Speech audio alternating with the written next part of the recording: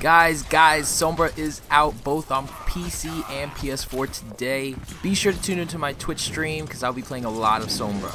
Also, I have a very special video planned for tomorrow going over Focus Fire, and I'm very confident that some of these tips uh, you may not have heard before. So, see you there. My name's Chit, and I approve this message.